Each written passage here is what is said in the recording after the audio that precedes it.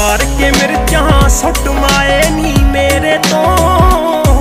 ਮੈਨੂੰ ਨਜ਼ਰ ਲਾ